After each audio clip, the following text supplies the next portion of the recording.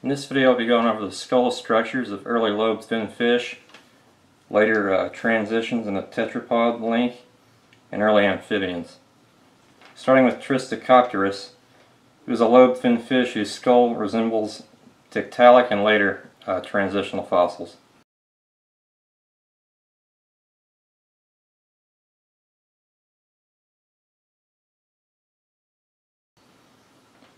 Panderichthys lived 380 million years ago.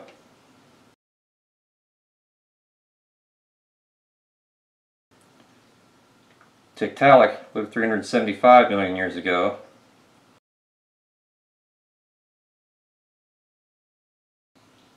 Elpistostege lived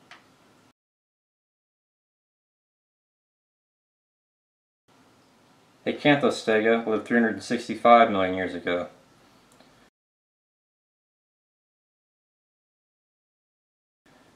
These examples breathe through spiracles behind the eyes like late, later early amphibians. Those early amphibians include Cochleosaurus, which lived 310 million years ago,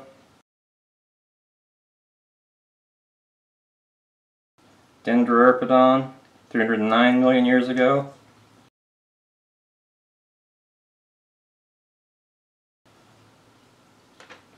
Sclerocephalus, 300 million years ago,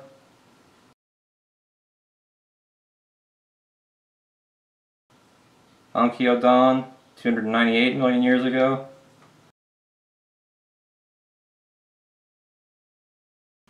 Trimerorhachis 290 million years ago.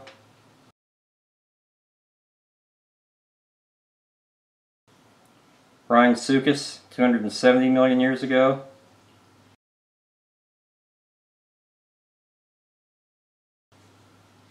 Rhinoceps 256 million years ago.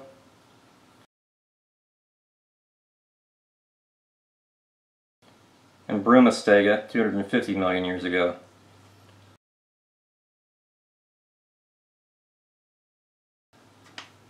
As you can tell, all of these skulls appear very similar in appearance. This is evidence of evolution from uh, lobe fin fish to early tetrapods with fins through 8 digits to 7 digits and finally 5 digits as in the early amphibians.